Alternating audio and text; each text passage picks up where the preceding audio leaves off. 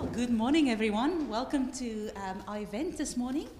Before we start, I'd like to hand the microphone to Auntie Joyce, who's kindly agreed to come and open this, um, uh, uh, this event uh, by giving us a welcome to country. Thank you so much for being here, Auntie Joyce. Thank you very much. My name's Joyce Donovan. I'm a Dharawal Wadi Wadi woman. My area is from La Perouse right down to the Shoalhaven River. Uh, you know, how honoured to come here where, where it's um, to do with women in engineering. Because if you look at traditional times, uh, you know, look at the um, engineering of the boomerang. Who can take a piece of wood and make it return? You know, catch your food, come back. Uh, that's engineering that traditional Aboriginal people done. What about the coolamon, what was used? From a, a you know, bit of wood again to carry babies, to use as um, for ceremonial practices, or to hunt and gather for the women mostly.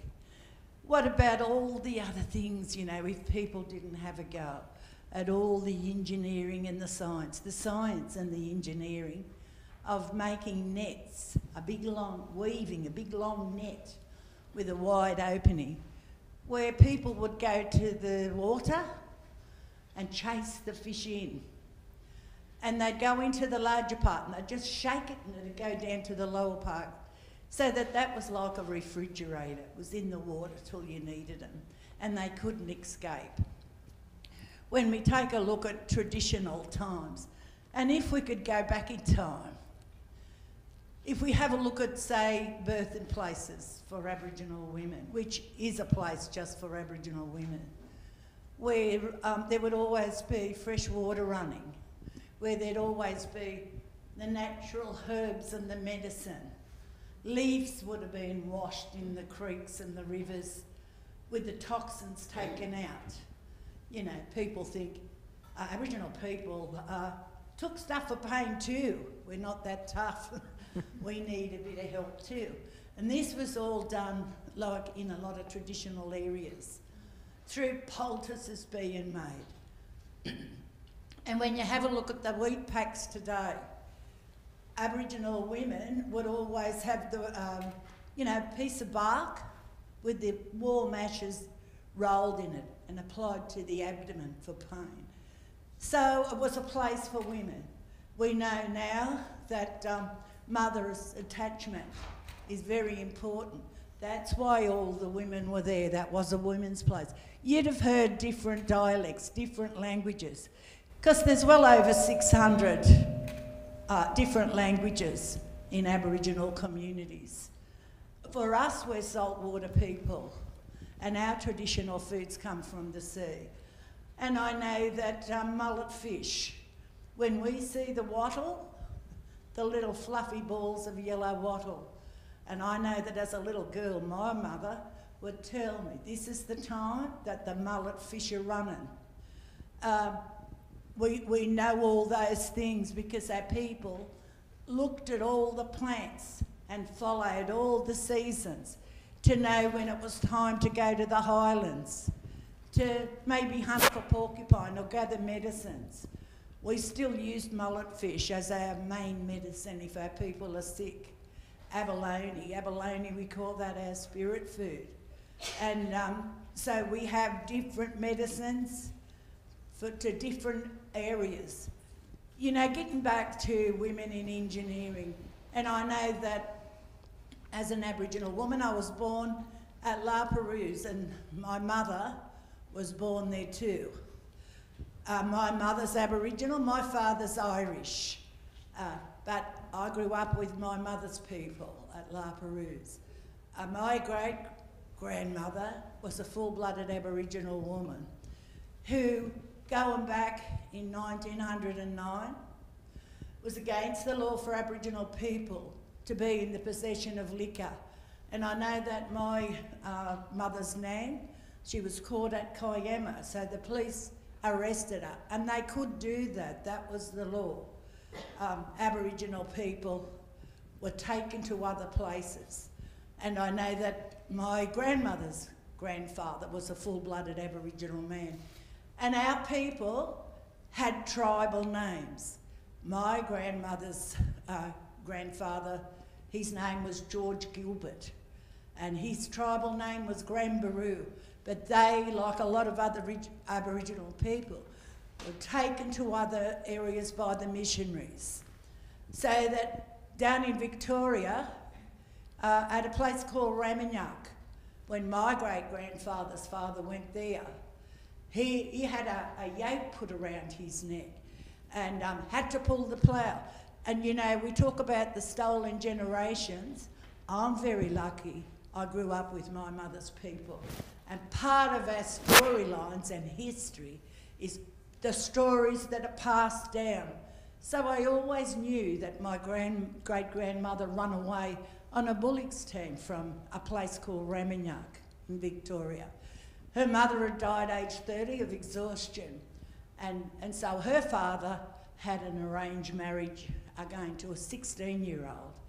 Um, and it's very important, and, and when you think about it, in 2023, we are still finding very important people from those storylines.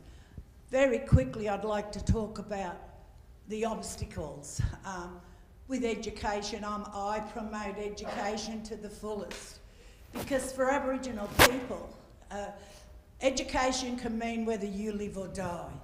It can determine uh, whether you become a black death in custody, whether you become a victim, because without education, uh, uh you know, uh, people have got no living employment skills. So once you go, and, and remember too, our people in a lot of places, they didn't accept Aboriginal people because our people were put and trained, uh, same as my, my family, as domestic servants. Also, I know that I was taken from an idyllic little place at La Perouse, along with 10 other young girls after me. And I was 13 and put into um, Parramatta Girls' Home, which is referred to as um, being equal to uh, Guantanamo Bay. Now, as a girl, as, a, as women, we had no skills. We, we were to clean up the servants. We were bred for that. But at a young age, I was going to be a grandmother um, at 38, and I needed to help my daughter, so we couldn't work for nothing anymore in the communities. And I went to TAFE, I'd just like to say that was like a little tiny door opening. I could read and write, but not that good. That little tiny going to TAFE. Um, not only is, and my papers when I got out of the um, the home was coloured and not too bright, and they never. I thought, what colour? What you know? They haven't got the name of the colour, just coloured and not too bright.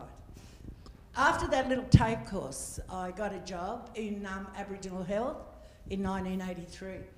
I went on, to cut a long story short, I went on to, I graduated from Cumberland College of Health Science in 1983. Done so many little courses because I was hungry for education.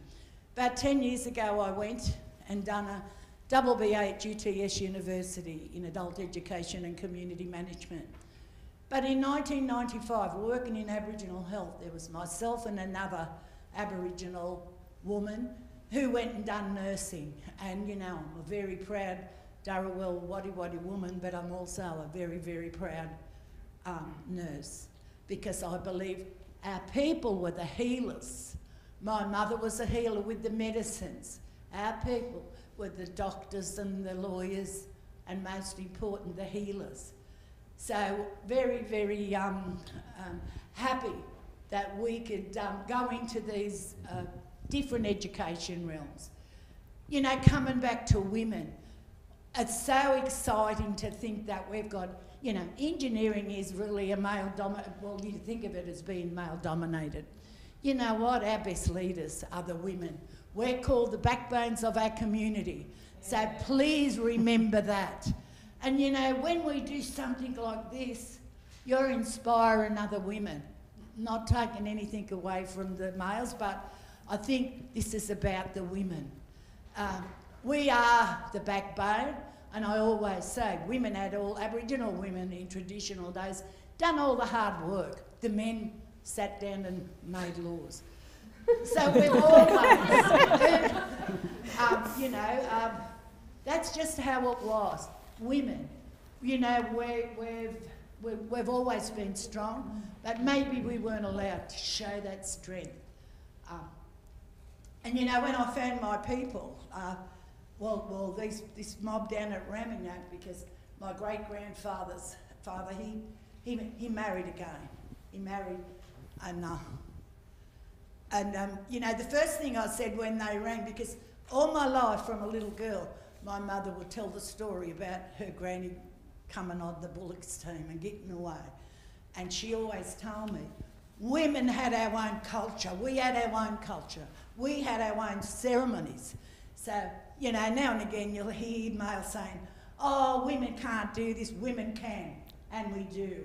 And, and you know, when I met one of those people, related to my great grandmother, who were the Gilberts. I spoke to this woman and she said, Auntie Joycey, you know, do you mind if I ring? I said, I've waited. I said, I'm 78. I've heard these bits of stories uh, for so long. And the first question I said to Marjorie, her name is, I said, Have you got bossy, bossy women? And all she done was laugh. She never told me. I found out later it's Lydia Thorpe's mother. So um, I guess we have got bossy women. Uh, uh, and it was strange because, you know, I'm so proud of women um, to achieve. We can reach for the stars.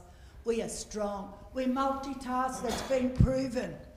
So all I could say, you know, keep going because when someone sees a woman succeed, you inspire another 10, 20 women. So, and, and in our communities, if someone, you know, no one ever went to TAFE in my time. I'm one of six. The only one left. We're the sickest, we're the poorest people in the world, but we're also the oldest culture. And you, and it's, and you then become an inspiration and a role model back in your community. And for the women in engineering, it's not only your community, you inspire all the women. You know, we can do engineering, we can reach for the stars. So, Wadia, Mare, Yagana. I wish everybody here today nothing but success and the doors open. And please don't give up and go higher, reach higher.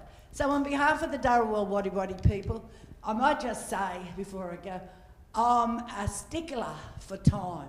I'm an old nurse and I've never worked on Koori time. I spend a lot of time being the first at meetings. I check everything out, make sure the water's there. So they changed the time here, and I thank God I didn't know till I walked in the door, because I'm early. I was 10:30. So please forgive me, because that's something that nurses, you know, we can't afford to be late, and I hate to keep people waiting. So please accept my apologies for being late. Um, but on behalf of the Dharawal Wadi Wadi people, welcome, welcome, welcome, and keep going. And hey, I'm, I'm, uh, we tend to drop our H's, by the way. We tend to say, it could be very embarrassing as a nurse talking about oxygen instead of oxygen. But please aim high, aim for the, the stars because those you're inspiring so many other females. So welcome on behalf of the Dharawal Wadi Wadi people and thank you very much.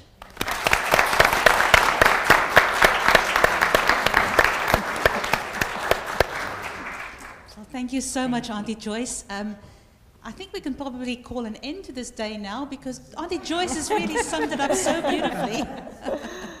it's a great reminder that as women we are strong, we can do, we do. Um, and I also like the fact that you place that emphasis on education because that's, that's really what it's all about. Um, I'd also like from my side just to acknowledge that we are meeting on Dharawal country today and I want to acknowledge elders past, present and emerging and any Indigenous people here today. Um, we recognize your connection to country and um, we have so much to learn from you so um, we, we hope to get some, some of your strength and wisdom today. Um, and again, this is International Day for Women in Engineering. Um, so, welcome to this event where we're going to celebrate. So, welcome to this event where we're going to celebrate all the wonderful women in engineering who identify as female.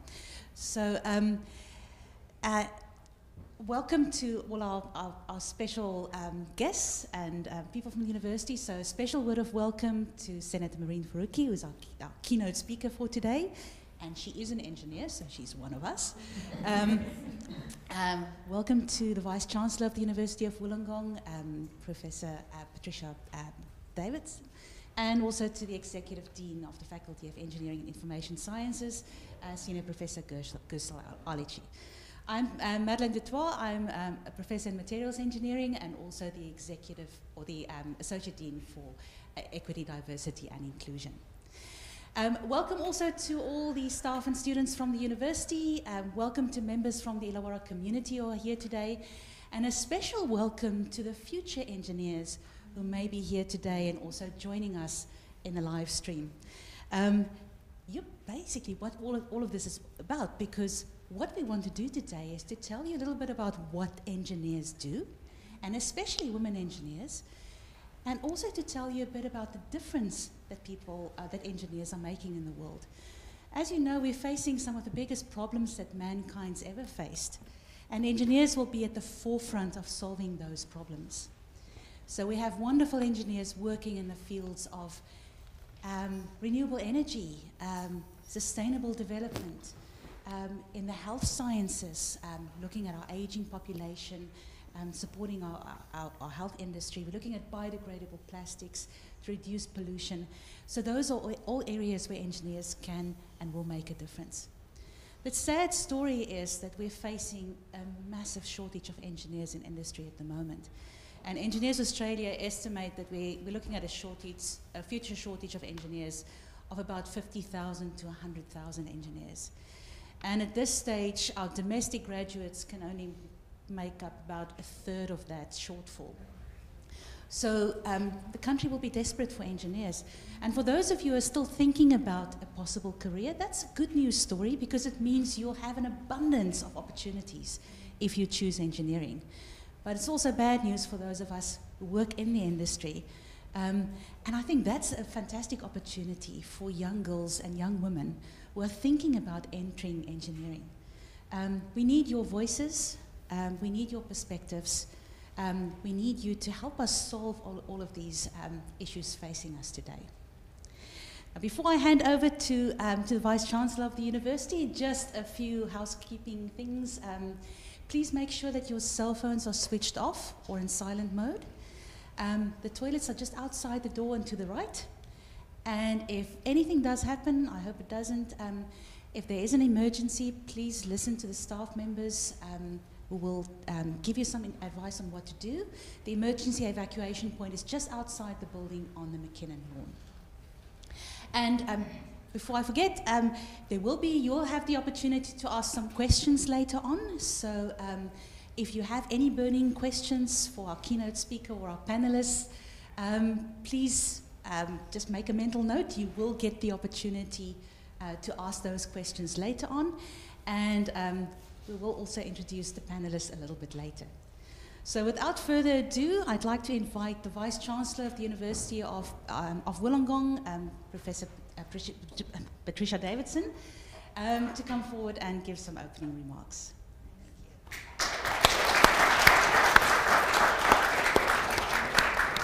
Uh, thanks so much, Madeleine, And uh, Welcome everyone, um, wonderful women and men who get it. It's great to see so many people here today. Um, it's also uh, our pleasure to have our, distinguished guest, the Senator Faruqi. Well, we'll hear more today. But as um, Madeleine said, today we've come to celebrate um, International Women in Engineering Day and to really celebrate women and engineers that are working to transform our world. Um, I think it's evolving that the critical issues facing our world, from climate uh, to the care of the elderly, require engineering solutions.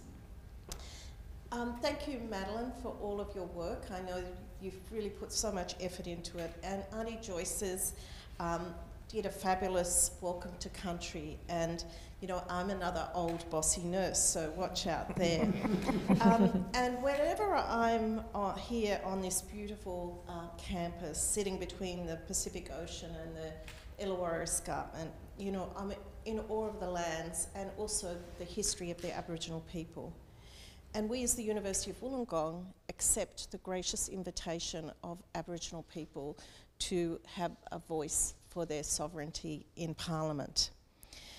Um, we're also, in particular, very honoured to have Senator Mehreen Faruqi here, who will give a keynote address and share her insights on women in engineering. Um, and Senator is a civil and environmental engineer, also a passionate academic, and it has been a lifelong activist for social and environmental justice. Uh, you are truly an inspiration for women everywhere, um, and in particular for women in engineering who seek uh, to break through glass ceilings, but achieve their dreams, but more importantly, have a voice for others. And I know um, it's not commonly said, but the life of a politician is really one of service, and uh, thank you for that. I think uh, diversity is a fundamental pillar of progress and innovation in any profession, um, but it's, I think, particularly important in fields that have been traditionally very gender based. Um, the stereotype of women of men of engineering rather is is a man but you know even i'm constantly surprised uh, Gursel and i were at the steelworks the other day, and you know, I'm just sur surrounded by amazing women, our graduates, who are just without taking any sort of standing back, just engaging in that work. And so um, I think the University of Wollongong is really keen uh, to develop that generation that are going to develop innovative and smart solutions to complex problems. when Auntie Joyce was uh, talking about her role as, as a, a nurse, in my previous role of, at, um, I worked very closely with the Faculty of Engineering, um, and in fact, we had a joint PhD program in nursing and engineering. And we would often, the engineers would say to me, um, you know, nurses have no end of problems in, in their workplace to, to solve, and engineers are all about solving problems. So I think it's a, a great partnership, you know, in particular healthcare more broadly and engineering, because there are some things um, that have been bugaboos since I was a young nurse, which was a long time ago, and uh, still are today. And I think it's because they've never been looked at through the lens of engineering. But really, more to the purpose of today, I think when women are empowered to make decisions and create change, society benefits. The health and well-being of our modern world is really dependent upon the health and well-being of women. And I think this is not a, a, a you know, ideological affirmation. It is something, if you look at any OECD data where women are healthier and better educated, their children are better, healthier and educated.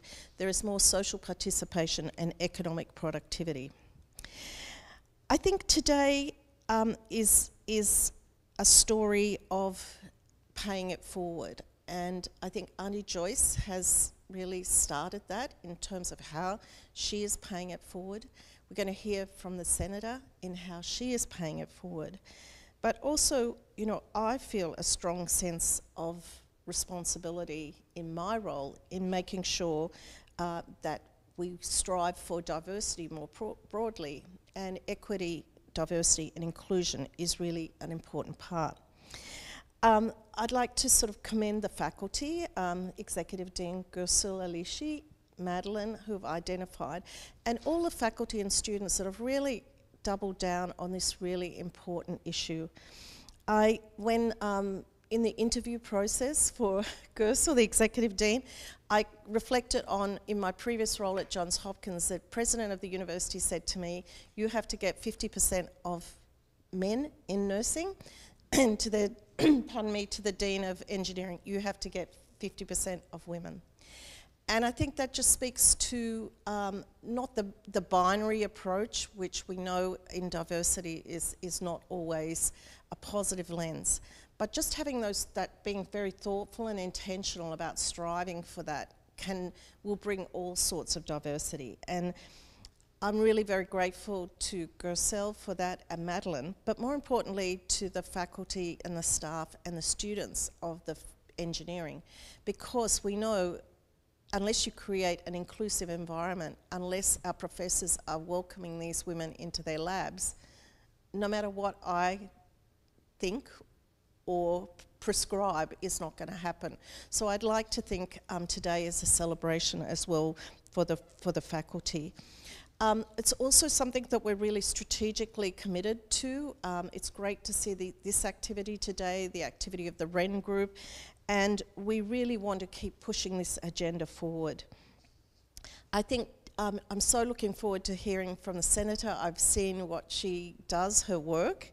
Um, and uh, again, for in particular, uh, for the potential engineering students live streaming today, uh, please um, consider you know, engineering as an important choice, challenge stereotypes, and, and really follow your heart and dreams. And when you get there, send down the ladder for more women to come up. Thank you.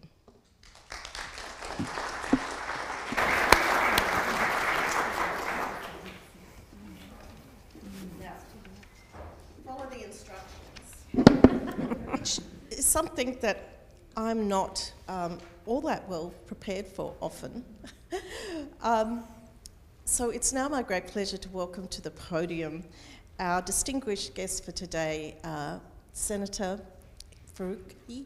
It's, we're just so honoured that you're here. We have all been watching Senate over the last few weeks, and it's been a very, very tumultuous time. So uh, please come forward, or have I made a mistake? I'm, I'm good. One thing is admitting you make a mistake.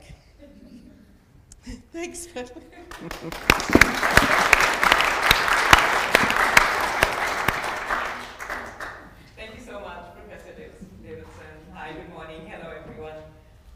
just want to start by firstly saying thank you to Auntie Joyce for that beautiful welcome to country and drawing link between First Nations knowledge and engineering. I think that was just inspirational to hear that. Um, but I also want to start by acknowledging the sovereign owners of the land that we gathered on, the Dharawal people, and pay my respects to elders past and present. No matter where we are in this country, we are on stolen land. Sovereignty was never ceded. This is, always was, and always will be Aboriginal land. Um, and I do this acknowledgement in full knowledge of the fact that we are still very far away from justice for First Nations people. So it is really important to remember that as we strive for justice and equity, First Nations peoples and their voices must be front and center of that struggle. Because there can be no social or environmental justice without racial justice, and there can be no racial justice without First Nations justice. and that justice has to come on their terms, not ours. Well, happy International Women in Engineering Day, and to all the women engineers out there, can I just say, you absolutely rock. um, and I am delighted to be here with you to celebrate this particular day. And thank you so much um, to the Executive Dean, and, to, and the Vice Chancellor uh, for having me here. Um, as the Vice Chancellor said, I've just come back last night from Canberra, and you may have seen in the media, it's been pretty toxic two weeks. Some good things did happen, some not so good things, but it was really couched in the toxicity of misogyny and sexism. Um, so I'm very, very happy to be here amongst friends, as engineers, as you know, as academics. I spent a lot of time at university studying and then working as a researcher and, and an academic. So I feel like I am amongst friends here, which is not the way I always feel in the Australian Senate, I can tell you that. Um, you know, for one, there are very few people there um, like you and me in parliaments across the country, and so for me, it has been a real privilege to fly the flag for engineers, first in New South Wales Parliament, and now in the Australian Senate. You know, when I was in uh, New South Wales Parliament, I had responsibility for the Greens for about 10 different portfolios. Um, that included transport, roads and ports, animal welfare, status of women, young people, multiculturalism, and more and more.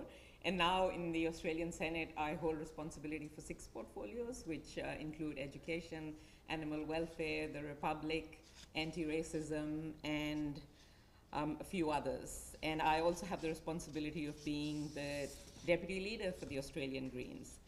And I believe that there are two main reasons why I am able to fulfill my responsibilities, you you know work on these huge variety of portfolios. And those two reasons are quite relevant to why we are here today. Uh, number one, I am an engineer, and you know we have been trained to think, you know, quite analytically in a structured, kind of critical manner. And then two, and I think Auntie Joyce alluded to that, I am a woman, and we can do many things at the same time. We do know that.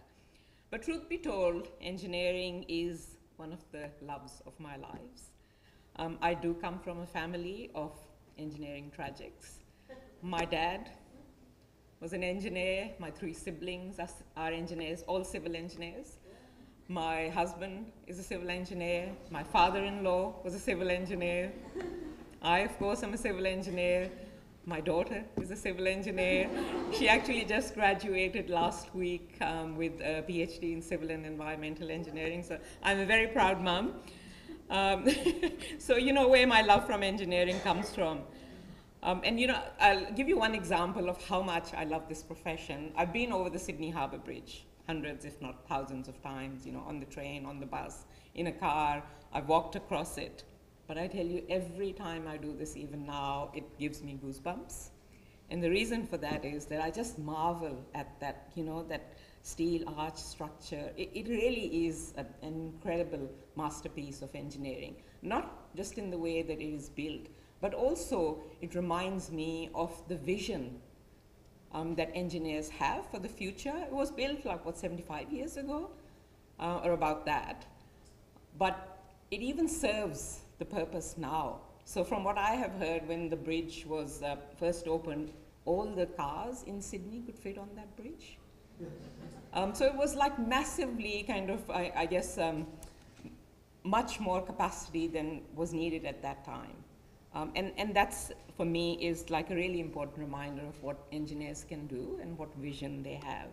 And my dad used to say that engineers can do anything and everything. I grew up hearing that. And I know, yes, he was a bit biased being an engineer, but you know, you can't deny that we do think creatively and we really, we are hard workers. Engineering is not an easy degree um, to go through. And we are trained problem solvers. Uh, we are also more likely to calculate risks and to deliver frank and fearless advice on big and complex questions. And it is this creativity and fearlessness, I think, that is much needed if we want to resolve the challenges that we face today. And you've heard about some of those challenges already. I mean, globally also, women are on the front lines of so many of these challenges, from the climate emergency uh, to war and conflict, to economic inequality. And in Australia, similar issue, like, you know, women earn less, we have more student debt, housing and rental crisis impacts us disproportionately, and of course, violence against women still persists. And these are just some of the examples of disadvantages that we face as women. Yet, when it comes to a seat at the table to actually make decisions about resolving on these difficult problems, we miss out. We really do miss out again. Um, and it gets worse. It gets worse when you look through that intersectional lens, um, you know, of women, because we're not a conglomerate of women. You know, there are women within our group which face more disadvantage than others, so women of color, First Nations women, trans women, refugee women, for example. You know, when I took up my role, or even now actually, since taking up my role in politics, there's one question that I have been repeatedly asked, and that is about my journey from an engineer and a migrant uh, from Pakistan to the Australian Senate and how someone like me ended up where I have ended up. It is a fair question because there are very few like me still um, in politics and political decision making. And my friends often half jokingly point out how many minority boxes I tick migrant, Muslim, woman of color, and an engineer. And usually I kind of laugh it off. Uh, but there is, if you think about it a bit, there is quite a serious edge to this observation that underlies the lack of gender, professional, cultural, and ethnic diversity in our parliaments, but generally in places where decisions are often made. Um, our parliaments, for example, are not at all reflective of the diversity that lives in our streets and suburbs. And yes, things have improved a little bit after um, the last election last year, but we are still very far away from true representation. Um, and I was very surprised when I started my role in New South Wales Parliament. I was really surprised because the media dug, dug this up. I didn't even think about it. It reported the fact that I was the first Muslim woman ever to sit in any parliament in Australia. And then um, I became the first Muslim woman to sit in the Australian Senate for the first time in 2018. And on top of that, I found out that I was only the 100th woman. This is 2018, people, let's not forget. I was only the 100th woman to enter the Senate in 2018. So that is the state of affairs in the 21st century in our country. And it really shows how at odds the makeup of political representation in this country is with the people who actually live here.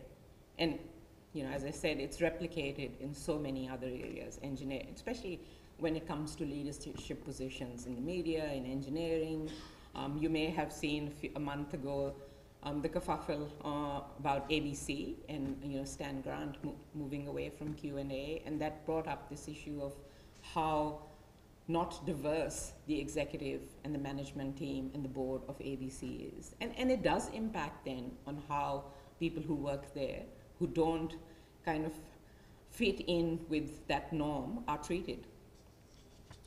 So there is this issue of lack of um, you know, representation, which is about equity, but there is also an issue about good decision making as well. Because if we don't have that diversity, then you know, often decisions are shackled by the conformity of opinions. Creative and innovative solutions come when different points of view are represented and debated, and a variety of experiences are listened to and heard. That's good for decision making, that's good for democracy, and that is good for equity. Otherwise, we do end up with opinions that are bereft of the depth of complexity, because they are developed within very narrow mandates of political parties and the narrow views that are held within those political parties. Um, I just want to come back for a couple of minutes to my journey from Pakistan to the Australian Senate. Um, as you might know, Pakistan is a country that ranks quite low on the global gender gap scale. Uh, so from an early age, I was pretty acutely aware of um, this inequity and discrimination that exists in law, it exists in society. Obviously, you know, every society, I guess, in, on this globe is patriarchal. Um, and it does prevent in Pakistan women from accessing education, work opportunities, or fully participating in decision making.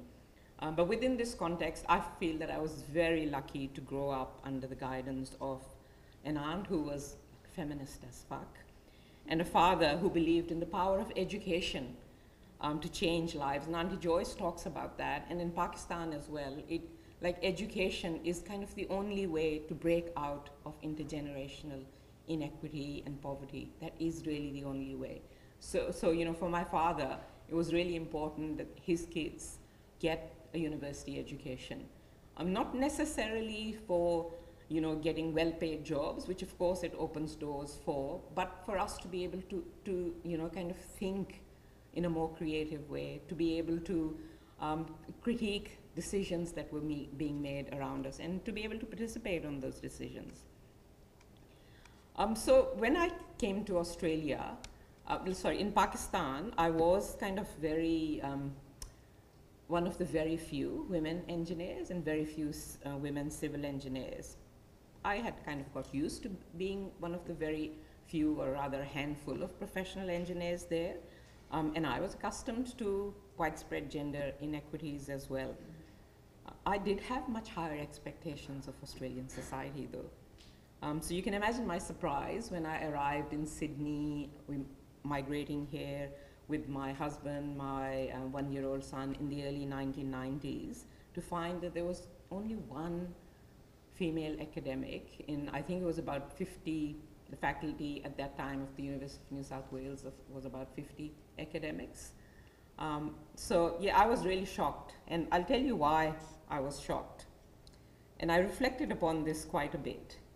I guess why my expectations of Australia were so, different to Pakistan was the manifestation of the dominant kind of worldview that I had grown up with in a country that was once a British colony. And that worldview was that it was the colonized who always had problems and the colonizers who came there to fix those problems. Living in Pakistan, I imagine that the so-called developed countries would already have achieved equality in every sphere of life, uh, in law, in society. Um, and like I said, indeed, one of the reasons why we migrated here was to live in a society that we thought was supposedly free from bias and discrimination. So that's obviously a view of the world that was marred by crude generalizations and a Western supremacist narrative that had filtered down to me when I was growing up. And I've long since realized that the story and the pervasive kind of sticking power of gender inequity is pretty universal. Uh, but, you know, on the very bright side, our courage to fight back is also very universal. And that's really what gives me hope. Um, and there is no doubt that through the many waves of feminism over the last century, we have fought hard and we have won so many battles. Um, you know, the right to vote and to run for parliaments, to join the workforce, to be engineers, to pursue careers in all professions. Those are some of the rights that we have won. Those rights, though, have not yet really resulted in equity in reality. Because according to the World Economic Forum, 2022, that was last year's Global Gender Gap Report, at the current rate of progress, it will take another 135 years to reach full parity. I mean, let that sink in. 135 more years. That's about six genera or five, more than five generations. And to me, that's completely unacceptable. So we do need to accelerate that pace of change. But we can only do that by working together, by showing solidarity, by teaming up. And it is really critical that us engineers become part of actively disturbing the current status quo. Because we, we have to be, we really have to seriously be an active part of that. You might be surprised to hear that I never never ever wanted to be a politician. like I was telling Professor Davidson earlier on, my first love has always been teaching. Uh, and when I started teaching at the University of New South Wales, I thought this was it, you know, I've made it. Um, you know, I've reached my goal in my life. Uh, but politics, though, was never, never very far from my mind. Uh, in Pakistan, growing up, it's like everyone talks about politics, whether it's the person selling the samosas on the street or, you know, the woman who um, you go to in a beauty parlor to have your hair cut. Everyone talks about politics. And I was quite surprised as well, the other thing that surprised me about Australia were people weren't, at least 30 years ago, weren't that keen about discussing politics. Um, so while I'd never had the desire to be a politician, um, I really had a zest quite early on in life for defying cultural norms and dominant societal views. And my mom often reminds me how, at a very early age, I used to have massive debates and probably she calls fights with her about um, being allowed to do the same things that my two older brothers were allowed to do. And the two things that I really fought hard for was playing cricket on the streets with the neighborhood boys, because that, that was who played cricket on the streets, and fly kites from the roof of my head. Um, and those were hard, hard won battles, I can tell you. When it came time to do civil en- study civil engineering, it was all fine. I think they were probably tired of, uh, you know, kind of my fights by then. Uh, so for better or for worse, I have always rejected limits that society places on you of what you should and shouldn't do, what you should and shouldn't be.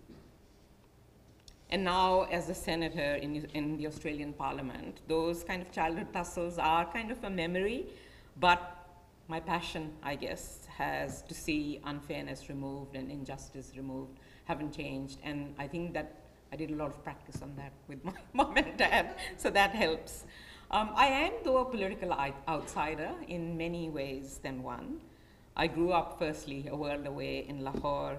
I didn't come through the political ranks of student unions, of party apparatchiks, or political staffers. And I certainly didn't have the networks, the boys' club connections, um, that really seems so prerequisite for a, you know, for a political career, or what people call as a political career. For me, politics has never been a career. I've never thought of it as a career. It is truly and totally public service.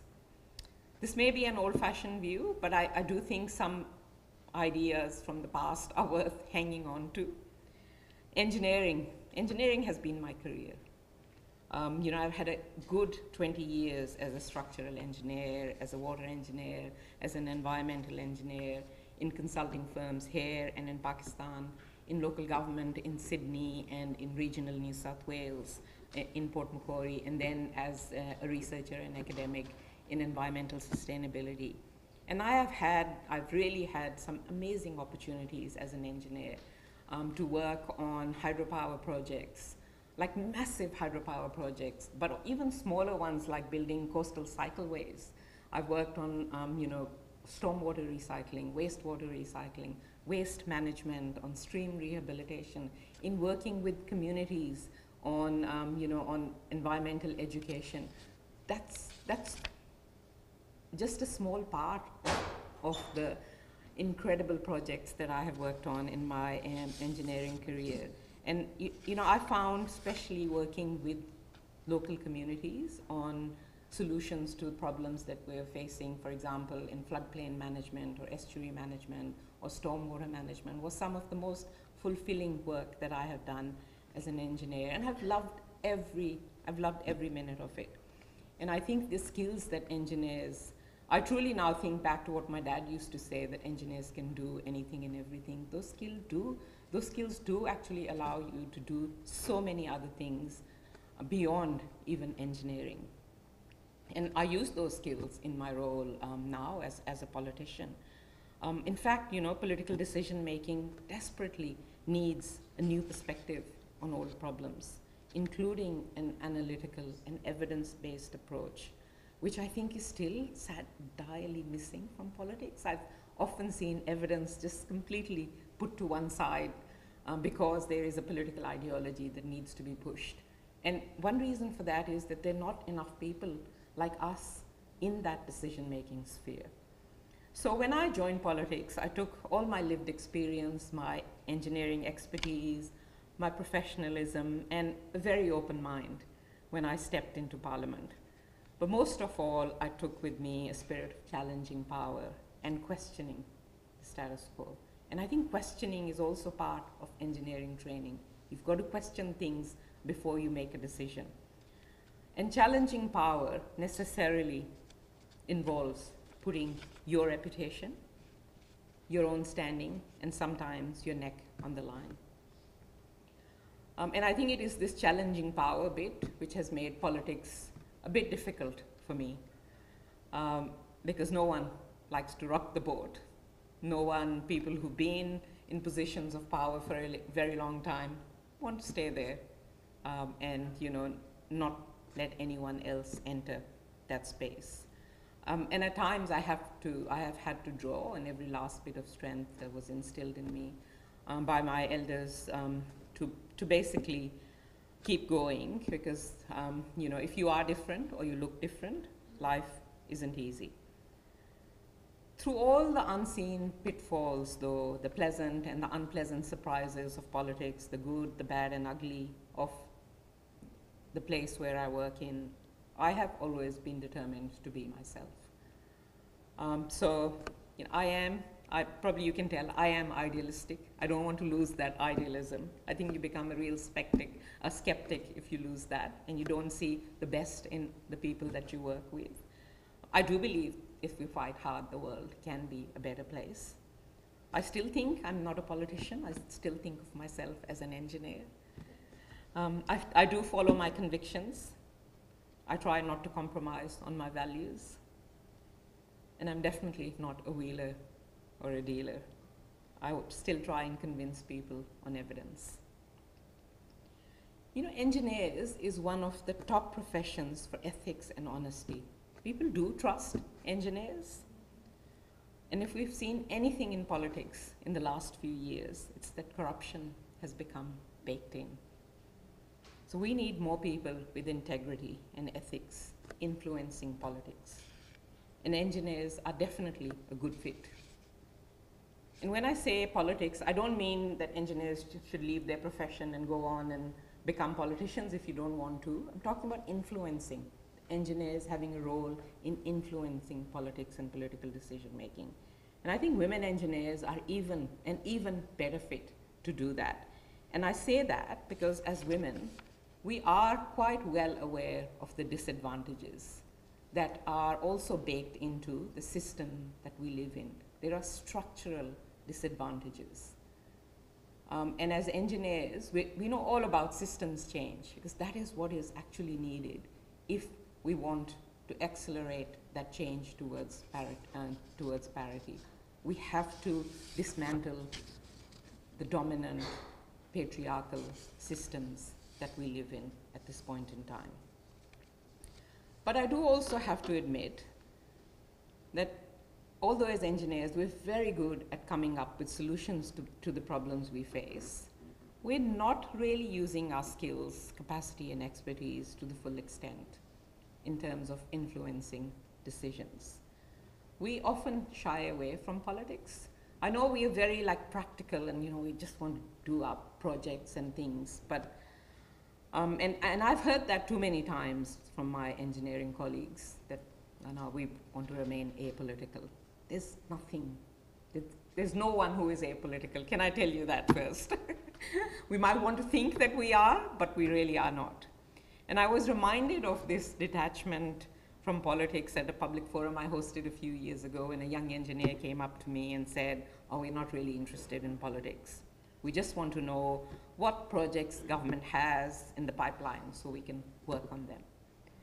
Um, and I have to say that I respectfully and completely disagree with this proposition. Because once a project has been determined, it's already too late and too difficult to change the course of where we're heading. The agenda has already been set.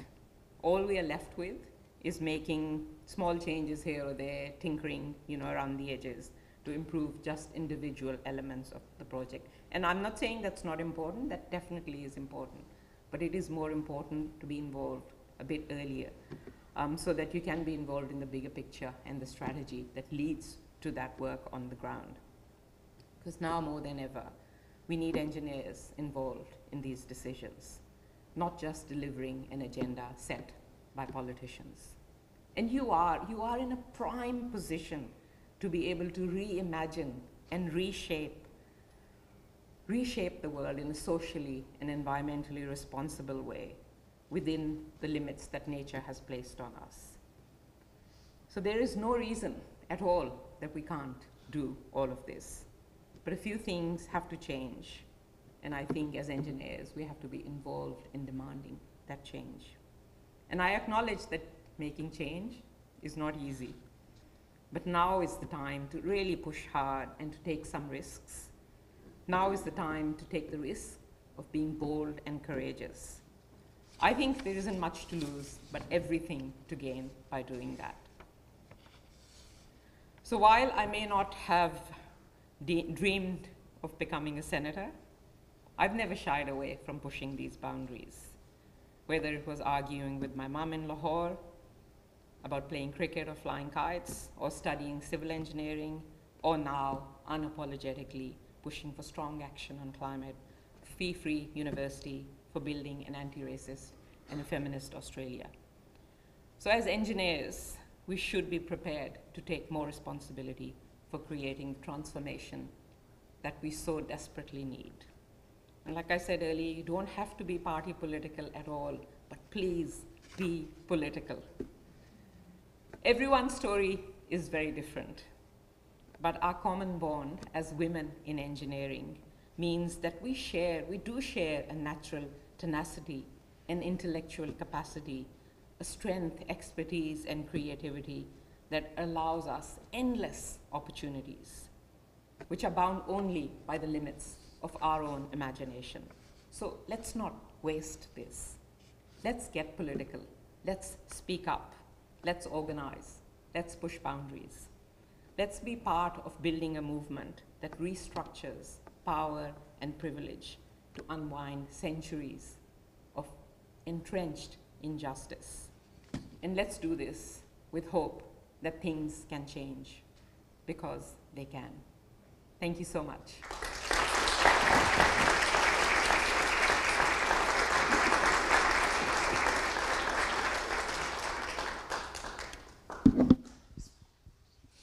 Well, that was awesome, wasn't it? Um, so, first of all, thank you, Professor Davidson, um, for your opening remarks. I must say it's lovely having a bossy nurse who's passionate about equity, diversity, and, and, inclusion in charge of the university. It's made a huge difference to the way we do things. And Senator Faruqi, thank you for sharing your journey with us and also reminding us that it's important that we get out there and that we influence and advocate and manage and lead and bring about um, the changes that's needed in this country. Thank you very much for that. Um, we're now going to move into our panel discussion. And um, I just want to touch on one point. Um, Professor Davidson said we, we're aiming for 50% participation in our faculty of, of, um, of women. And we're not quite there yet. We're still a fair, fair bit off. Um, but interestingly enough, Engineers Australia recently published a, set of research that they that they'd done to look at why women or the participation of women in engineering is so low. And they, they came up with a, a list of reasons, and most of those reasons seem to be because we're not doing a very good job at selling the profession to the young girls in school. Um, and those are all things that we can solve. Um, so there's no, no real reason why women don't make good engineers. Now, one of the, the reasons that they highlighted was that there's a lack of female role models in engineering. So that's part of what we're doing today is we want to present you with some awesome women who's doing wonderful things in industry um, and in academia and who, who are really making a difference out there. So I'm going to hand the microphone to my wonderful colleague, Montse Ros, who's the Associate Dean for Education in the faculty, who will introduce our panel and also lead the, the, the panel discussion. Thanks, Monsi. Thank you. Thank you, Madeleine, and uh, thank you to our distinguished uh, speakers. It's been fantastic to listen to uh, the speeches today and very inspiring for all of us. Um, I'd like to actually uh, introduce our panellists, and in order to do that, I'd like to invite the Senator and our panellists to come up uh, onto the stage uh, and take a seat so that we'll go through each of the panellists. Um, if you'd like to come up to your seat, um, so I think you're on the far left there. Thank you. Thank you. Thank you very much. And what we've done here is we've assembled an incredible combination of amazing female engineers for us to ask questions of, interrogate, and find out how you got there. And for those listening along on the live feed, or for any budding young uh, female engineer wannabe, this is where you can find out exactly how these amazing women got to where they are. And uh, we've already seen and heard one amazing and inspiring uh, journey to, uh, uh to engineering and to, through to politics. Um, but we've got so many more stories to tell. So I'll start off very quickly because we have already heard um, Senator Faruqi's story, but just quickly, um, Senator Mehreen Faruqi is the Deputy Leader of the Australian Greens and Senator for New South Wales. She is a civil and environmental engineer and lifelong activist for social and environmental justice. In 2013, she joined New South Wales State Parliament, becoming the first Muslim woman to sit in an, in an Australian Parliament. Uh, in 2018, uh, Dr. Faruqi became Australia's first Muslim senator. She has been a passionate advocate against racism and misogyny and holds the portfolios of education, anti racism, animal welfare, the Republic, and international aid and global justice. So, thank you for joining us. The first question that I will get each of our panellists to answer, just in a very short, sweet, and sharp way, is what motivated you to pursue a career in engineering? okay, I'll make it very short because you've heard my story. For me, when I went into engineering, it was really all about equality. It was about going into a male dominated profession where women have been told, no, this one's not for you, this is a man's job. So I basically wanted to prove that women should be able to do and can do, and sometimes even can do it better than others can. And then I fell in love with the profession. Fantastic, thank you very much. So next we have Dr. Rochelle McDonald. Uh, Rochelle has over two decades of experience in the ports and marine industries across regional Australia and has held roles in operations, engineering, development, strategy, and project delivery. She is committed to the optimisation, efficiency, and reliability of Squadron's operating assets to enable a successful transition to a green energy future. Rochelle, what motivated you to pursue a career in engineering? Um, I was always really interested in climate change and really understanding the history of climate change and, you know, you know particularly in our geological records. So my grandfather was a mining engineer and he worked throughout the world in really um, remote and regional areas of, of, of China, Bangladesh, um, Australia, so a lot up in the Pilbara and the Northern Territory. And he would bring back slides and photographs and show me of um, amazing uh, uh, developments that were occurring where people were actually uh, carrying everything in uh, like drill rigs and things into the middle of the jungle. And there was one particular photo that was of a landslide uh, before and after. Um, and that for me was something that I really wanted to study earth sciences. So um, originally I was thinking I was going to do medicine, but I can't stand the sight of blood, so that was out. Um, but then I was going to go into mining. Uh, but I had a real issue with uh, the impact on, um, on the earth and also the impact on climate change. And back when I studied, it wasn't uh, the in thing to do environmental science or anything like that. So I did a degree in earth sciences, which was environmental engineering geology, and subsequently did a PhD in, through public health on um, looking at the exposure of acid, acid sulfate soils and uh, the impact on the environment and people. And then my engineering degree, uh, well, my further engineering degree, my master's in engineering management, specialising in major projects. So, so my uh, really the reason why I did it was following in my grandfather's footsteps. But he was somebody that um, believed that there was a place for women and that was looking after children and, um, and you know, providing a home. Whereas me, that absolutely was challenging everything that was normal inside him. He became my biggest advocate for my career. So if I can say something, um, when a little person of 11 years old, when I was deciding what I wanted to do with my life, comes to you and says, "Can you support me in this?" or "Can I can I learn more?" Embrace it because that's what's going to really create a pathway for people moving into engineering in the future. Great, thank you. And it really just demonstrates the importance of mentorship. And uh, I think the earlier remark was the, the men who get it. Exactly, so thank you very much. So um, our next um, panellist is Michaela Brown. Michaela is a senior structural engineer for Arup she graduated from UOW in 2004 with first class honours, where she was both a member of the Women in Engineering Society and president of the Civil Engineering Society. She is passionate about design and collaborating with a team to build iconic buildings, uh, bring iconic buildings to life, rather, um, that add real value to the community and help shape our city. Michaela, what motivated you to uh, pursue a career in engineering? Well, I think um, Wollongong has a lot to answer for, university. So um, I didn't have any um, uh, engineering mentors uh, growing up, but um, definitely, well, my family was very much, we are good at maths, so um, definitely had to, to tick that box. Um, so loved my sciences, my maths, couldn't write an essay to save my life, so definitely need to do something in the uh, sciences or something practical. Um, and uh, I actually came to University of Wollongong in year 10, Women's in Engineering Camp.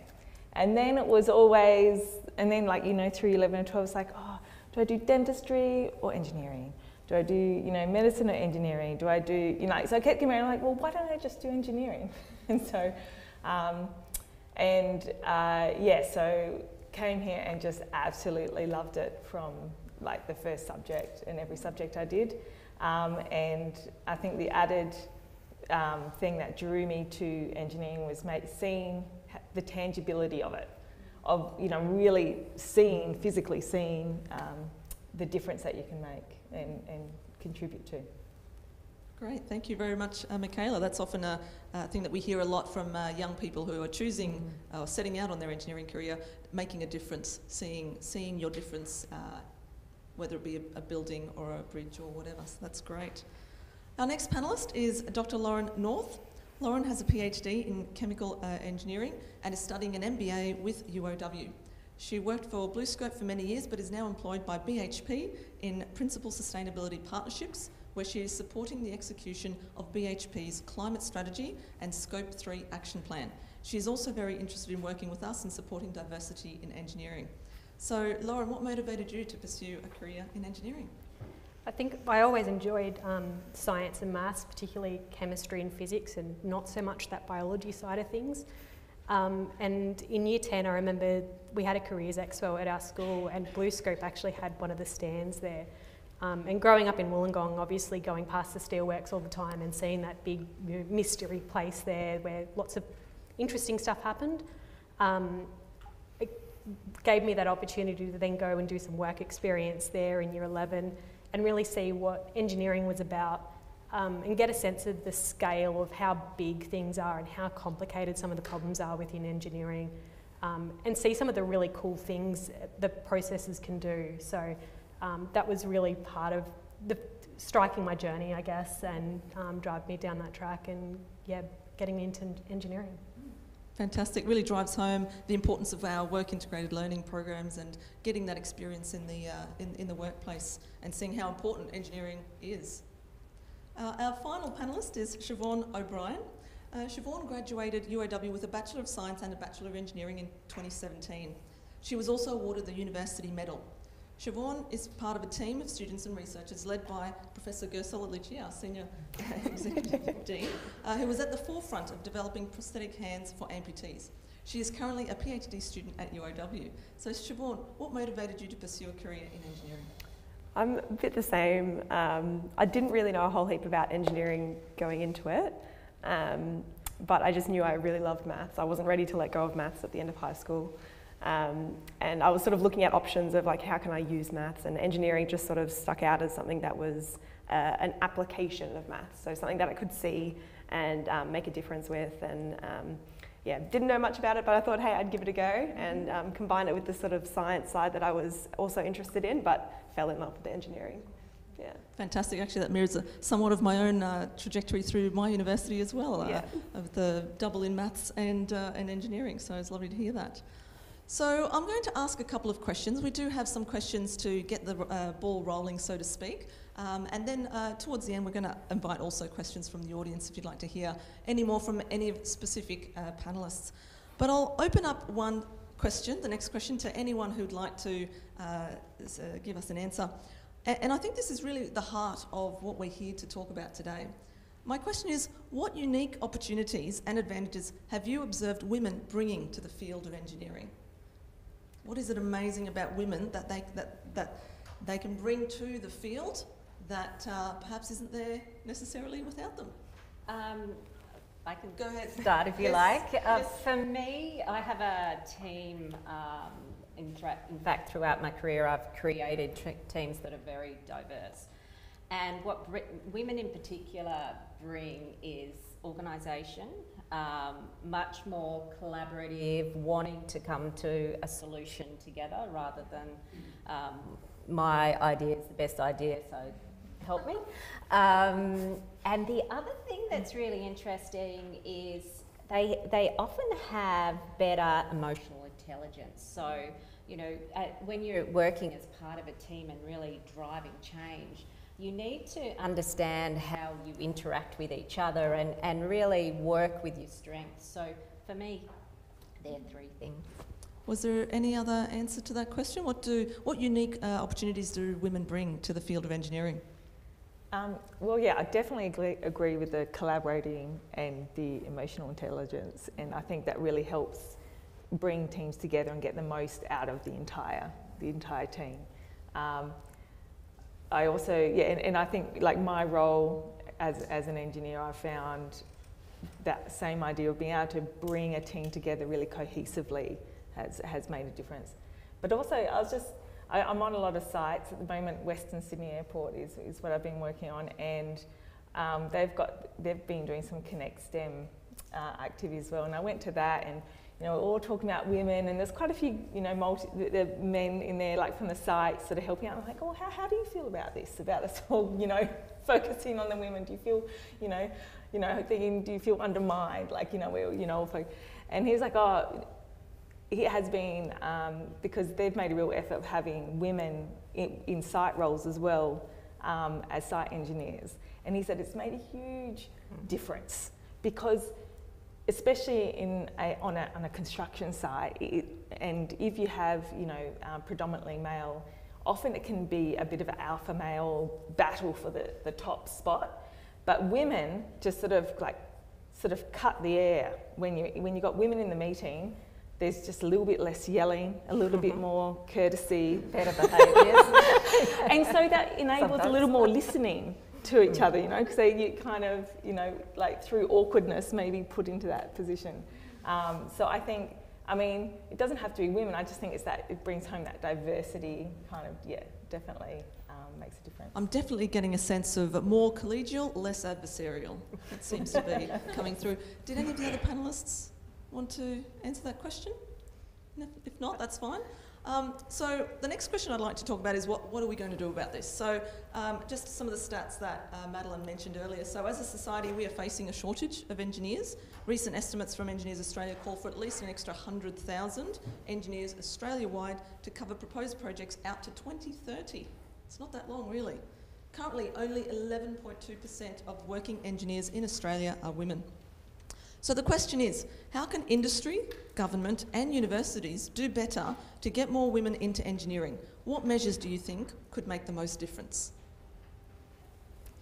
I think industry's come a really long way in this space in terms of recognising some of the barriers for women.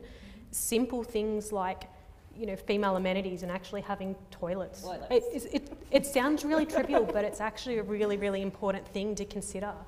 And I think a lot of those structural things are being recognised, and companies are really pushing towards that cultural shift um, in, in supporting women in, in the space.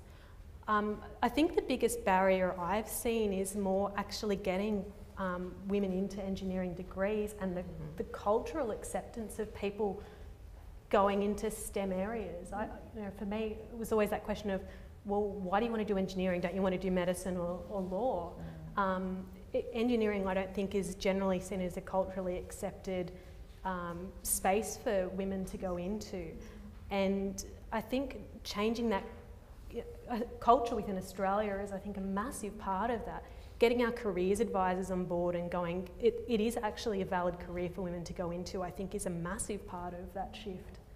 I think that, that was mentioned earlier today uh, about engineers not selling ourselves mm. well enough to mm. society mm. at large, but also mm. to the next generation. Mm. And yeah. also uh, showing the diversity that mm-hmm. is in the engineering sector. I mean, you know, for my, my career, I've done everything from um, geohazards for where you're going to put pipelines, platforms, jetty structures, right through to, um, you know, now foundations and actually um, you know, in, ensuring that our wind industry can, can get up and, you know, everything from the logistics from a port to where it needs to go. So there's a huge range of opportunities for engineering and I think we just need to showcase that because mm. I don't think we are. And really early on, like first year high school or in primary school is where we need to start to make mm. this change happening. Yeah, I think we need to make it really clear I think when people see think of engineering, they think, well, do I want to take a bike apart and put it back together? Not really. so that means I don't want to be an engineer, and it's not like it's it's about problem solving. Like if you like working in a team, like working with people, and like solving problems and creating solutions, then engineering, you know, you'll love engineering. Mm-hmm. Um, and it, you know, because yeah, and it's not that there's not the full appreciation of, you know, what engineering really is. Like the yeah. Yeah, that's so true. I mean, people still think engineers are train drivers. You know, that's so, so, yeah. So we, we have done ourselves a disservice. We, we are like very practical people. You know, we're quite modest often. You know, we we like doing our maths and our engineering and all that, and we haven't really. Um, like we said, showcased ourselves and what we do. But I think this issue of shortage of engineers is not new.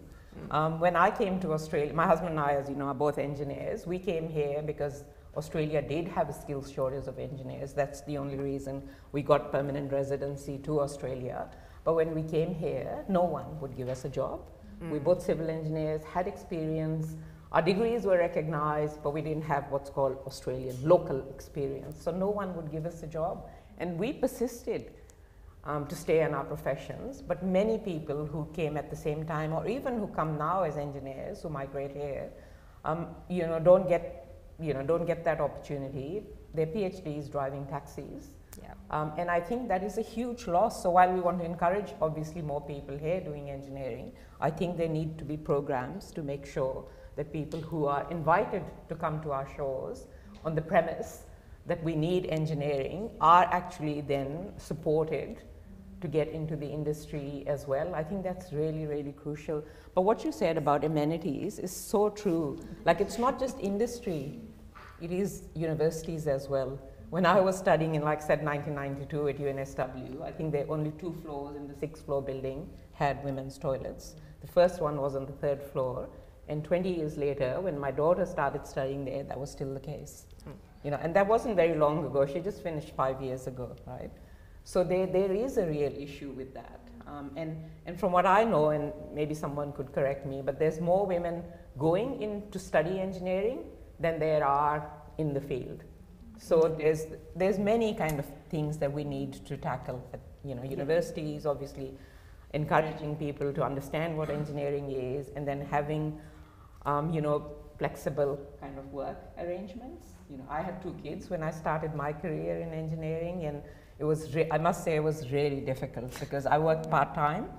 I was expected to work full time, and if I couldn't do, you know, full time work in my part time days, then I was like pushed down um, the career ladder. So, I mean, it is that you know whole idea of women's work and men's work, which still kind of persists, sadly. Yeah, I mean, on that, I've noticed um, a big difference in my workplace, mm. even that whole idea of um, yeah, just you might get women in, but keeping them, mm. keeping them in and going to senior level. And part of it is, um, you know, I suppose, yeah, the, the, the, challenges that are presented in juggling sometimes that project. Well, I'm in construction, so that demanding kind of um, that, that construction wheel never stops. Mm. And, you know, if you don't keep up with it, you kind of get churned up with it. Absolutely. So doing part time, and so I've also gone through and done part time and had three children as well as keeping on to the, you know, doing this job. Um, but so I, a little bit of that is also feeling, uh, you feel a little bit less of the team mm. when you do the part time. Mm. But the, the, the, recent changes, they've really changed their um, maternity, uh, like paternity leave. Yeah. Um, and there's a lot more men yes, exactly. doing like four days a mm, week mm. and sharing the primary care roles. Mm. And it just changes the culture completely mm. because suddenly it's a level playing field. Yeah. And it's not just the women you have to work around with resourcing for part time hours, mm. it's everybody. So yeah, it's been a real shift and a real positive shift. That yeah. that is really important, I think. As as employers, we need to make sure there's the flexibility for both men and women. Um, in our team, we have uh, our our guys doing their kids drop up and pick pick up. We we have that flexibility, and we just have.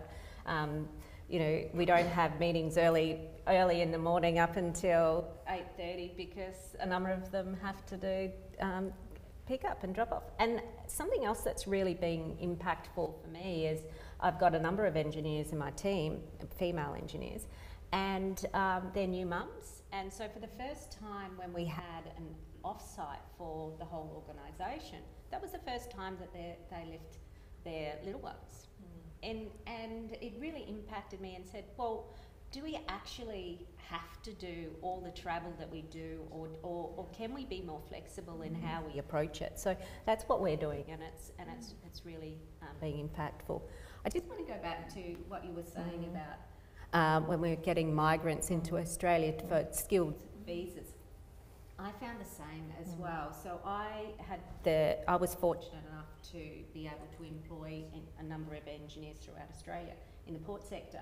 And we had really strong candidates with great port experience, but they had been six, 12 months without being able to mm-hmm. get a job. Mm-hmm. And I'm saying, but you're so talented. So I mm-hmm. gave them, you know, I've probably given four over in, in the last 10 years. And they were the the best workers, biggest advocates, and a lot of them are just coming up to their 10 year anni- uh, anniversary of working for the organisation, creating a huge amount of value in our, in our regional, regional ports. So I think we need to stop the bias. It's not unconscious bias, mm. it's absolutely the bias, whether mm. it's uh, what nationality you are, whether you're female, um, mm. and, and we've got to call it out. We see it, we can't just ignore it. It now is the time that we've got to call it out. That's Yeah. great. That's a fantastic segue to my next question, actually, in, in terms of not so much bias, but certainly looking at um, ensuring that we're inclusive of uh, minorities, inclusive of, um, you know, as you say, uh, wh- whether it be female, whether it be um, Indigenous, whether it be uh, migrant uh, engineers. I guess for the people in the audience who don't fall into any of those categories, so I'm thinking maybe our male colleagues who um, are not in any of those categories, um, but would like to be an ally and would like to be a mentor. Um, what should they? Is there anything that they need to know about being supportive of women in the workplace? How can they help the cause? Being sponsors. Yeah, champ. Yeah. Yeah. And how do they do that? Um, well, yeah, people do it actively, you know, through, through active programs, which um, uh, which is great. But it's also, I suppose, it's done a lot informally. Um, so how is that? That that's promoting, um, uh, sort of promoting you and, and putting you forward for for opportunities um, actively. Um, and, and I think that's often like a big problem. Well, you know, one of the things I think female engineers I, I see have challenge, challenges more with um, is promoting, self promotion. Yeah. I, I mean, I struggle with it. like LinkedIn, I'm, I'm hopeless. You've got to get better at. I know, I know. LinkedIn. it's one of my to dos this year, trust me. Um, but yeah, that, that idea of saying, well, you know, putting, you know, uh, broadcasting what you've done um, or what you can do, because I don't know, you, you kind of got more the mentality of, oh, I'm just going to get in there and solve the problem. I'm not, you know, it's not. Um, and maybe it comes back to that collaborative thing that is like, well, I did it as a team, not taking ownership for what you brought to the team all the time. Um, so yeah, so yes, being able to recognise and, and help um, and help that promotion and, and opportunity, access to opportunities. to your point, like I've had some absolutely fabulous advocates for me, like male advocates, um, who've helped push me forward um, throughout my career, and I'm incredibly grateful for that. Um, I think that um, using those advocates to actually help create space, and by space I mean physical presence and supporting ideas and giving you that meeting weight. Um, like advocating for your ideas within meetings and support in, in those sort of group forums is really, really important as well because it helps create credibility um, as well and develop your own capability um, to present your arguments and ideas with that backing of others in the room. I think that's also a really important role to help in that space too. Definitely. I have a bit of a different view to that. um, I think we are brilliant women engineers. Look, look at the engineers here. Um, I think we have the capacity, uh, we have the intellect to do it. I think men should just step aside. and, and, you know, give the space to us to be really frank. yeah. I, I, I, I do, I I do agree with you in a lot of ways as well because um, what I I am quite good at self promotion. I've had to become um, because I wanted to change the dial, um, and you know I was the fourth female uh, CEO in the port sector in history. Um, and I was the only one that went through a, um, a competitive process to get that role. The other three had transitioned uh, into that role from working in the entity. And I have in the past been um, told that I'm, I'm too bold and I'm selfish and I'm, and I'm just about self promotion. Mm. And that's not me at all as a person. So I think it's got to we've got to change the mindset of that females being open and bold isn't because they're um, reflecting on themselves. It's because they want to change uh, uh, uh, the agenda that's actually on the table. Um, also, family like my 17 year old and my soon to become husband are my biggest advocate and support and I'd do anything for them, but they would do anything for me. And, and for me, that is really powerful as well. So, and my mum and dad and my grandparents. So it's that family unit and friends. Um, support each other, hold each other up, um, promote what what um, the amazing women uh, in your life are doing, and that's going to change the agenda as well. Fantastic. And I'd just like to go back to one of the things that we heard earlier around engineers, sort of related, that engineers are not very good at selling ourselves to society and to um, younger, the younger generation who may be considering uh, a career.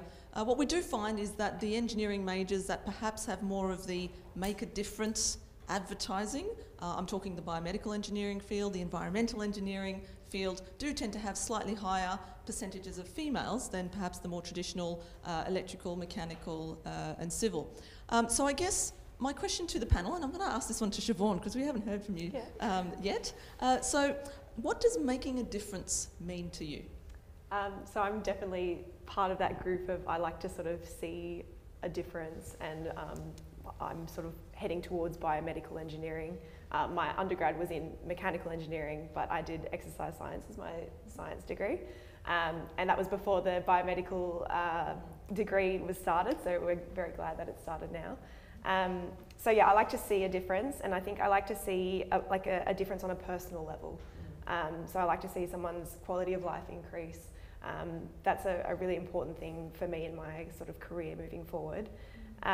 Also, in terms of like making a difference, I have done a lot of tutoring in the engineering faculty, and I think that's a really important part of sort of my journey as well is making a difference to the younger people coming through and making sure that young women in engineering can see that there are female teachers and female professors. And Madeleine was one of the first um, professors that I saw in engineering, and it was one of those moments of, oh my gosh, there's a woman as a professor, she's standing out the front in engineering, and I was like, oh, maybe I can sort of lean towards that or um, push myself to become that. So mm. it's sort of, you have to sort of see it to be it, I guess. Yeah. Um, so yeah, that giving back is a, an also a, a, big part of me making a difference. Mm. Fantastic. Um, any other answers from the panelists? What does making a difference mean to you? Well, I've done the full circle. My passion for climate change, um, I've gone through my career and actually I've got the skills now to uh, be able to help lead the way in the renewable energy sector. So I'm really proud to be Executive General Manager for Operations for Squadron Energy, uh, who certainly are leading the way in uh, the renewable, firmed renewable industry. So that's mm. what I want to do. I want to help transition uh, the biggest uh, carbon emitting industry, being the electricity industry, uh, towards renewables. I think to that Fantastic. point, like we've got some amazing skill sets that we learn within engineering, and the the problems that are upcoming with not only just the reductions in electricity generation, but also you know steel making and other core technologies. Um, the challenges to decarbonise are massive, and the skill sets that engineers bring to those challenges are absolutely required and it's going to be a really, really interesting space over the next 10, 15, 20 years as we progress towards that goal. There's massive problems to solve. Um, and engineers are going to be so well placed to help solve them, whether that's within, you know, process engineering, looking at process challenges, or electrical engineering, and actually building and doing and implementing some of those changes. There's going to be a massive opportunity over the next few years in that space. Fantastic. Well, I might um, open it up to see if we've got any questions from the audience. You've heard some pretty uh, amazing stories. Um, are there any burning questions that can either be directed to an individual or to our five panellists here today? Yes. Uh, go ahead and I'll just repeat it for the people at home. Oh, yeah, I, I think I can Yeah. um, elaborate on. Um, just one of the, uh, the things, like, you know, one of the challenges, I'm an engineer myself. I worked in Australia in a small family-owned businesses for several years before joining the university. A lot of challenges that I faced personally, like we've mentioned the things like, you know, uh, you know, toilet blocks for women and things like that. But there are things that, you know, the big companies like Arup or BHP obviously can't get away with it, but 80% of our manu- uh, Australian economy manufacturers are built are SMEs, so the companies who are employing more, less than 20 people, and these are the ones that you know are, are going to attract a large amount of workforce and engineers. So for years and years, I've experienced like you know um, being the only engineers in the workshop, and also wherever I go, there wasn't a door that I would open, a cupboard door or a bathroom door that I wouldn't have been facing a naked picture of women, for example. Now, um, I've just taught myself again, you know, on the back of what Mehreen said as well. I grew up in a culture where it says, you know, well, you know, there are some limitations, but you know, you've got to agree, or if you want to, you know, push the barrier, you're just going to learn to get along with it. So, again, like growing up and I'm working in that environment, I kept saying like, oh, that these things doesn't bother me. Like, you know, we just move on and we'll do the job, and we're tough. But as a mother of, as a proud mother of two girls, I don't want to be this situation where I have to tell my girls that you have to be, you know, if you want to work in engineering, mm-hmm. just ignore the naked picture. What do you think we can do, you know, as, I mean, as, as, as a society, as, as, as a country, which for the very, you know, long future, these are small companies are still going to be the large proportion of the manufacturing and industry that are attracting the stu- uh, you know, students engineers and female. What can we do to remove these problems? Yeah.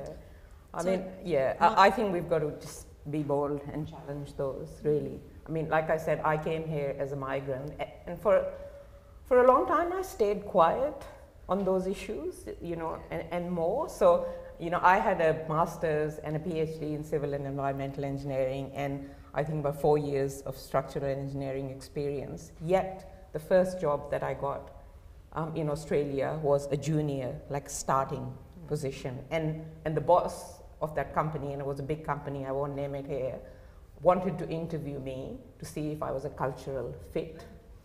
So I, I wish now, looking back, I, I, would have challenged them. You know, at many points in my time when you experience sexism or racism, I wish that I would have challenged them, but I learned within a few years that nothing would change for me, but also for the next generations. And that's, I get, one of the big goals for me is to, for the next generation, to be able to not, to, to not face the same closed doors and challenges that I faced. I really want to break down those doors. So I think we've just got to be really bold and, and challenge those things. Like no one is going to roll out a red carpet for us, to be really frank. Um, you know, we, we heard earlier how, how things change when you gave examples of the paternity leave. It's only when men get that leave that the norms change, right? We see that they are also now. So I like I'm over it, frankly. We need to change things because it's good for us as well, not just necessarily good, good for men or good for society.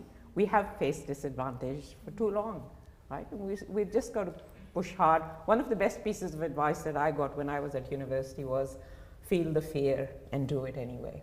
And that's become kind of my threshold. It is when you feel the fear of doing something that you know it's exactly the right thing to do. So, yeah.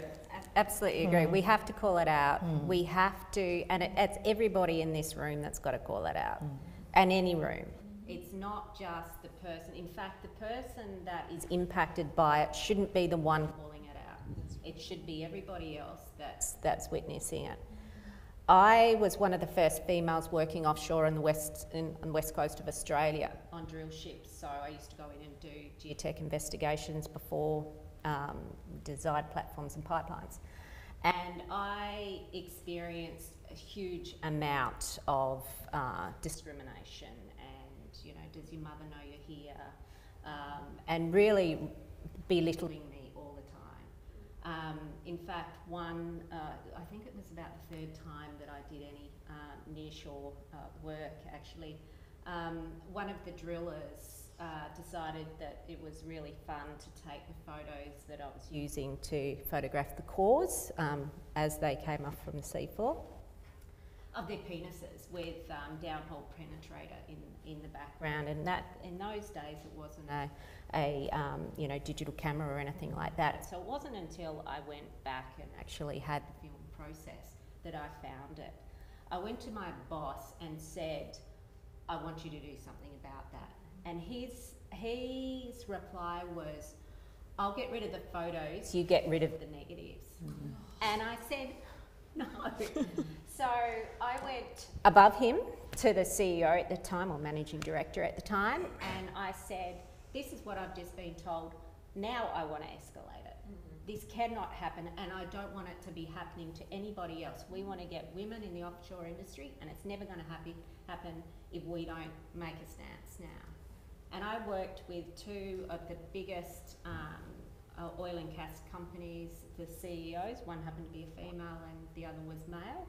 And we actually changed the environment offshore to be more welcoming, more welcoming to women. And today, it's actually a really nice environment to be working on the offshore ring, rigs or at Varanus Island or Barrow.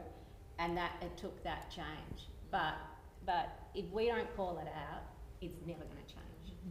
And I bet it's nicer for the men too. Yes. Oh, absolutely. Everyone's a benefit here. Absolutely.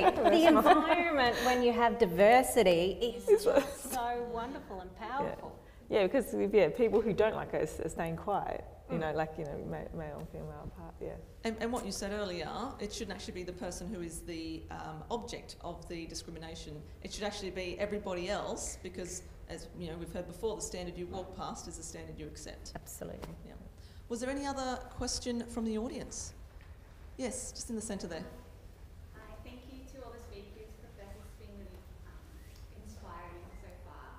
Um, my question is about the statistic I saw recently. Some 60 to 80 percent of youth in the UK and the US, and I'm assuming Australia is somewhere in the middle. Um, they choose social media influencers as their career. That's what they want to do. So it's not just engineering. It's sort of we're all in trouble. Um, what are your thoughts on combating the juggernaut that is TikTok with a billion users a month? That's a very good question. That's I think we're- I'm a LinkedIn advocate. that, uh. Um, how do we combat the tide of um, exciting new professions or exciting new uh, job uh, titles?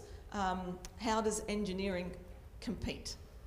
Yeah, there's nothing stopping you from being an engineer and a social media influencer. Can I say that? yeah, there is there is actually a, a TikToker. Her name's Anna. She's a um, an engineer, and um, her sort of like start of her influencing career, I guess she was promoting engineering, which was awesome.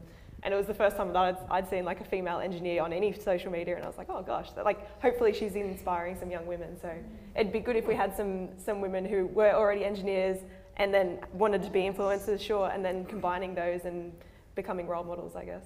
And perhaps that's an opportunity for us, like everyone in this Yeah. room, is to leverage that and, and share the message. I, like we said earlier, we're not necessarily great advocates for the engineering discipline, so maybe that's a, a takeaway from us that we, we could um, spread that message a bit better. Don't look at uh, social media as, a, a, I guess, a, a hindrance. negative or a Yeah. hindrance, but look at it as an opportunity for how we can reach even more younger people. So, look, I'd like to finish up with one final question that I'll just pose to, um, I'd like to hear from each one of our panellists. Um, what advice would you give to young women, maybe young women um, watching this feed from home uh, at the moment, considering a career in engineering, especially those who are unsure or maybe hesitant? What advice would you give them? I think the biggest thing for me is that I thought engineering was like, oh yeah, I'm going to go and fix cars or whatever. it's, it's so much broader, and I didn't understand that going into engineering. So I think it's really important that we say, like, engineering can take you anywhere. It can take you into the medical field, it can take you into the environmental field, and mining, mechanical, any, anywhere you want to be, robotics.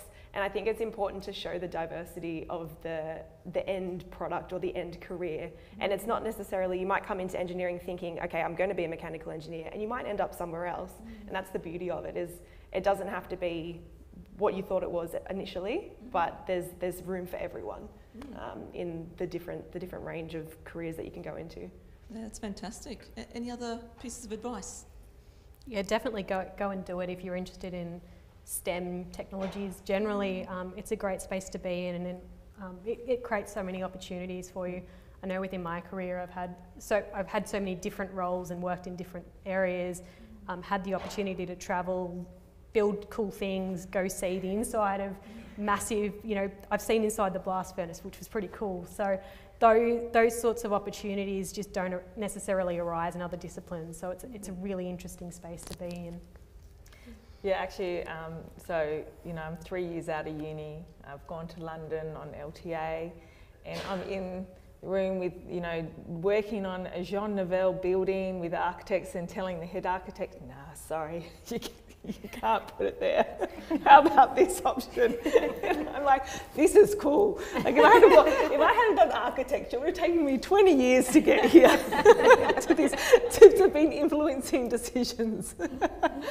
So it is, um, there's just, it's a really exciting, it's a really exciting space to, to be an engineer. And impactful. And, in, and an very impact. impactful. You, you know, so, yeah, so tangible to you. Um, like, and I've been a lot in the public building spaces. So um, I've worked on multiple art galleries and libraries. And I've taken my own children to, you know, Green Square Library I worked on and went, and it was just so exciting. It's like, this is mummy, it was all my building. Uh, mummy's building. I, I just finished uh, Sydney Modern Art Gallery. I was the lead, art, uh, lead engineer on that. And going, I mean, the emotional, like just the going there on the opening day, the emotion you feel, uh, like just of, you know, it's like you're another baby, you know. Um, so Fruits of it's your labour. The fruits of your Yes, labour. yes, there's my blood. There's, there's, there's a month of my life. but uh, yeah, no, it's, um, it's really hard work, but the joy it brings um, is, is, is amazing with what. Um, I agree with what, everything that's been said. Um, the other thing that I'd say, be open to moving, relocating. Some of the most amazing experiences that I've had have been in really regional parts of Australia, and I've been given opportunities that I wouldn't get if I stayed in a big city. Um, so, really encourage you to spread your wings and, and go and look at some of the most beautiful parts of the world that we have right here in our backyard. I'll give you the same advice my dad gave me. Engineers can do everything and anything. so in my life's journey, it's given me, you know, finite element analysis, big building, big structures, you know, recycling water. I'm too decriminalizing abortion in New South Wales, banning greyhound racing. So just do it. Fantastic. and can you all join me in thanking our panellists for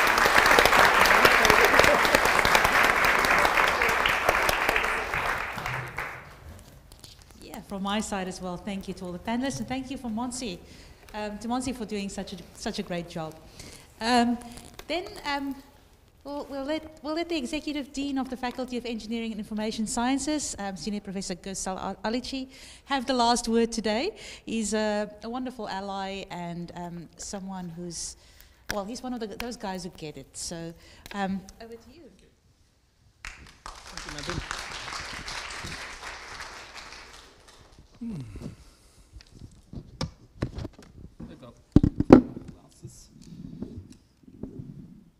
I don't know where to start. I'm very, very happy. Oh, yes, of course. so I'm very, very happy, and uh, I don't know where to start. And I'm very excited, and I have full pride in what we have done today. And maybe I'll just make one point before I say anything else. And as Senator said, just give it to women, they will do a wonderful job. So that's what I did when we planned this event. Uh, Madeleine, who is in charge of the equity, diversity, and inclusion in our faculty, we launched our um, uh, strategic plan and our initiatives last year in October under her leadership. That was wonderful. As part of this plan was to have these events to be organized. And we had a meeting a couple of months ago. We just talked about the general principles, what will be the format. Then I just left the rest to Madeleine, to Jancy, to Montse, and the other wonderful members of the faculty. And two weeks ago, they just told me that how the structure will be and how, what is my role. I said, I take it by all means, thank you very much. So I'm very lucky, it worked very well, and, and, and I'm very lucky that women make a significant difference in our life, in our journey. If I reflect on my education and growth, everything I have, I owe to my mom, who can't speak and write any language. But she engineered me, if I can put that way as well.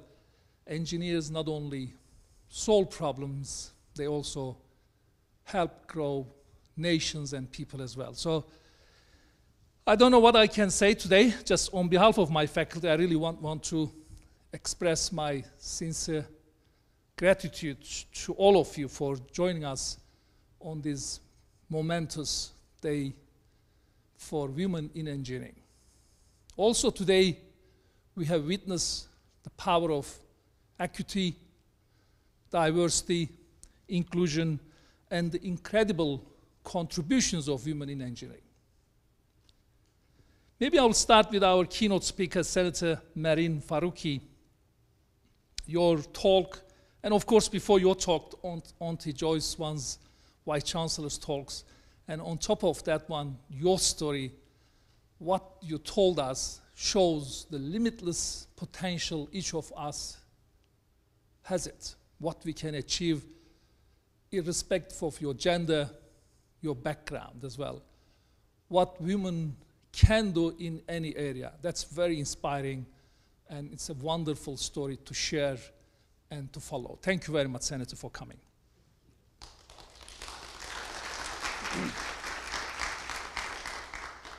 And also, I would like to express my appreciation to our panelists and the moderator, Montse.